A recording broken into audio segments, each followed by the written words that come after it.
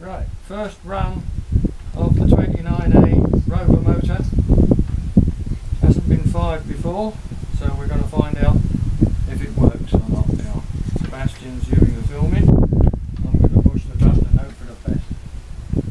And then when it, if it does run, go around the, the back and Mm-hmm. film the whole thing. Right, ignition.